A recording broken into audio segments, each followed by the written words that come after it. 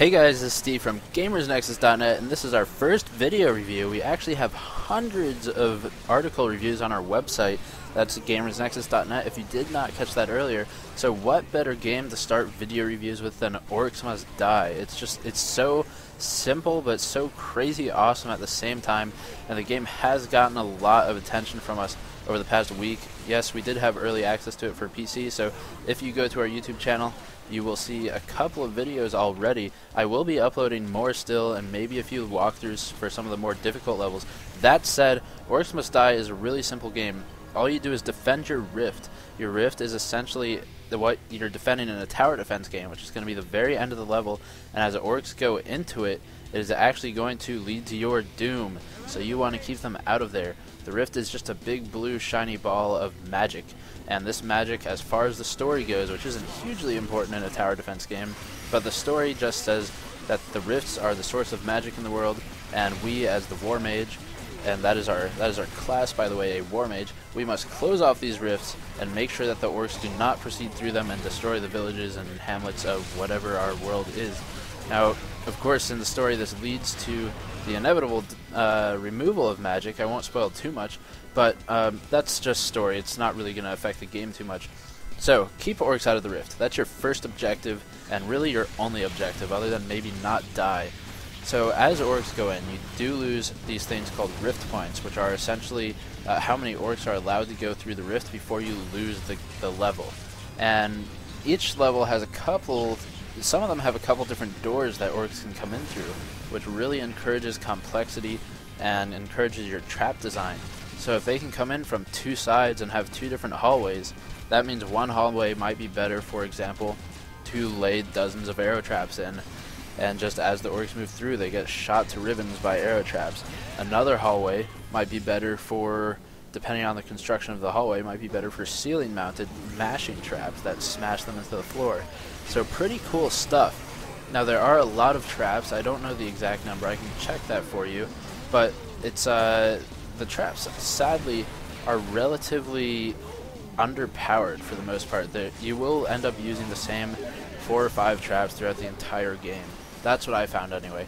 And as you unlock more traps, you unlock one each level. Uh, as you unlock more, you'll find that some of them are more or less effective and never use some of the older ones again, which to me is really sad because uh, when I saw this game, I was hoping that trap combos would be highly encouraged by more points or more something to reward the player with. For example, comboing maybe, I don't know, a steam trap that launches orcs into the air 10 feet, for example, with a ceiling mashing trap that smashes them back down into the floor and kills them, or something to that extent that's kind of cool and, and perpetually amusing for you to watch as a player but they're not really rewarded in the way I want. So it's normally more effective to just use, for example, this is the staple trap for the whole game, tar pits, which slow orcs down immensely. So you put tar pits at the entrance of the door, then you put archers up on a cliff, which aren't really traps, they're called guardians, but they're in your trap book. And then the archers can shoot the orcs in the tar pit as they're slow, slowed down, and you can also use explosive barrels in the middle of there, which are basically powder kegs. And the archers will shoot that on occasion uh, just from crossfire, and that will kill all the orcs. It's a really boring way to win the game, and unfortunately it does work on most levels. But if you're the kind of person that can look past those types of combos and make yourself use new combos and new trap groupings, then great for you. You will love this game. If you're the kind of person who once you figure you figure out an overpowered or cheesy strategy, you may have trouble uh, getting through this game without beating yourself in the head a few times for using the same tactics over and over. Now that said, the level design is pretty fluid and very, very good. You can each level is designed to encourage as many trap types as possible, despite everything I just said. Uh, some of them are very open, um, so that does lend itself to more archers or guardians. But the ones that are closed and condensed and all hallways and typical traditional uh, stereotypical cas castles, there you go, that was a lot of words that mean the same thing right there. Uh, just basically castles and hallways are my favorite for traps because they really, really push you to do new things that are cooler. And you'll see in some of our gameplay videos we have stuff like swinging maces coming from the ceilings that are synchronized or even asynchronous, combined with things like, uh, I don't know, maybe arrow traps in the walls so any orcs that get past the swinging maces will get shot up by arrow traps and then you can have spike traps in the floor that poison them. So if they get past those arrow traps they will be poisoned and then die by the time they get to the rift and all the awesome stuff like that. So some more sweet stuff about this game. The art style and art direction is amazing. It's just Normally, I'm not a huge fan of cartoony games, and this game is cartoony, but not to the extent that WoW is, for example. It's really, Orcs Must Die is more of a cel-shaded comic book cartoon style, which I think is just awesome because you don't see a lot of that. Even though a lot of game companies have done that kind of art style, Orcs Must Die just really takes it to a new level and really puts you in this fantasy world and in this more of a fantasy comic book, really. Um, so art direction's awesome. The action is very, very fast paced. So this is a tower defense game mixed with hack and slash, or hack and shooter, I guess, because you do have a crossbow. If you are a fan of hack and slash, or of games where you're using magic and crossbows and spells to kill things, you will probably like Orcs Must Die. If you're a fan of strategy and tower defense, you will probably like Orcs Must Die. If you sort of like both of those, you will love Orcs Must Die. That's just how they designed it, and I think it's brilliant personally because then they get two genres, and tower defense is sort of a smaller genre in comparison, and hack and slash is more of a blanket one. So they really, really try to appeal to everyone there, and they do it in a way that combines and doesn't feel forced or sloppy. So that is great on them. Huge props for that. The replayability is another fantastic, uh, fantastic element in this game.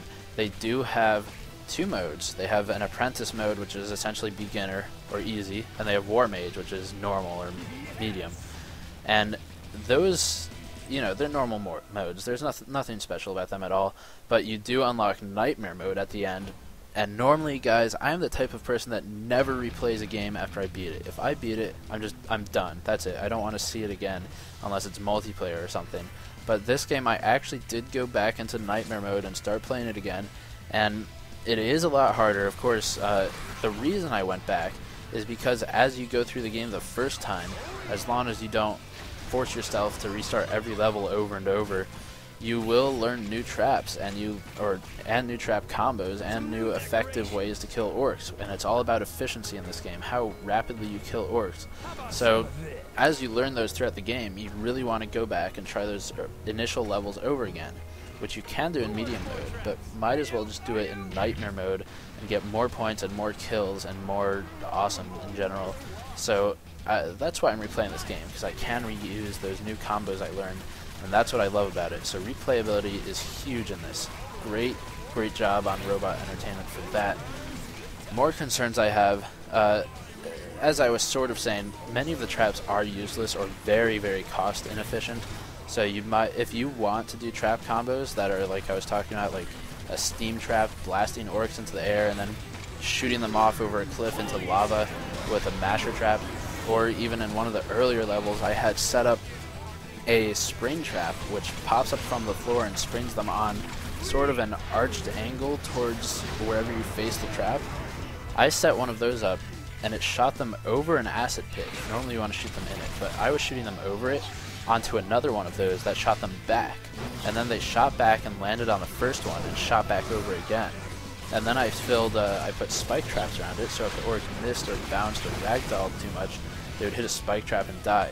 So it was a lot of fun, but I could have killed them way faster just by doing arrow walls or archer traps or explosive barrels. So really not a ton of encouragement to do fun stuff like that, especially since those fun setups normally take longer, and taking longer does take off your points. The faster you are, the more efficient you are, the more points you get, the more upgrades you get. And on that note, upgrades in this game are sort of lame and sort of a letdown, really, if I'm honest. There's essentially just uh, cheaper traps or slightly stronger traps. Nothing super innovative like uh, I would have loved to see the wall blades upgrade to be visually different, a new model, or something to that extent uh, when I upgraded them. But alas, they were not that special. They were just slightly more effective. And the same goes for almost everything else. They might be have a slight stylized difference, very slight, but no, not really any new models or any new effects from them other than maybe more damage essentially. You can get poison, but it's basically all just comes down to more damage. So those were kind of disappointing. There is no level editor either, so once you finish the game, and if you play Nightmare Mode, once you finish that, you're done. That's maybe... So it took me nine hours to finish the game on medium mode with uh, restarting the levels multiple times over and over because I wanted to get the perfect score or the best score I could. So nine hours is probably going to be the average if you're like I am. If you're a fast player and you just want to get through it or you're incredibly talented at these games, then it will probably take you, I would guess, seven to eight hours. And if you're going to replay, you probably get probably 15 max is around is around where you you taper off there. So I'd say 15 max on the outlier end. Um, so level editors would really free that up and make it so you could add a lot more. They did say there's some discussion, but no plans of release yet. And I guess really one of my final complaints is probably no freestyle mode. I wish you could just go play with no time limit and with endless waves of orcs coming in on all the basic levels, just no objective really. Obviously, you know, maybe have no rift points, that way you can just let orcs go through and not have any penalty, not lose. Because I would love a freestyle mode to set up traps so they can just kill orcs in the coolest ways possible, even if it takes forever to kill them, you know, because it, it's a lot of fun to watch those traps work. And the art style really makes it even more fun to watch the orcs die, as horrible as that sounds. But uh, it's just missing a few core elements that I would have really loved to see in this type of game. That does not mean it's a bad game. It is a very, very good game. And there are lots of levels, probably 23 I think I counted, maybe 24, somewhere around there. So lots of levels, lots of replayability, uh, great gameplay mechanics in general, fluid level design, fast-paced action, and all that great stuff that you want in a game. Uh, the only reason you would not like it, I would say, is if you are an orc. Uh, but beyond that, it is a pretty great game, especially for 15 bucks. You get a minimum of in eight or so hours, and maybe probably a max of 15 to 20 if you really, really replay it heavily. Uh, I would say much more if there were a freestyle mode, but alas, there is none. Maybe DLC, my wish will be granted. We'll see. Uh, anyway, Orcs Must Die is available now for XBLA and for PC, so check that out.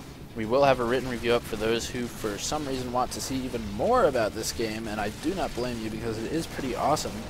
Uh, I would say check out the demo. There is a demo available, so play it. If you don't like it, no problem. You didn't waste any money. If you do like it, then great. Let us know in the comments below what you think of Orcs Must Die.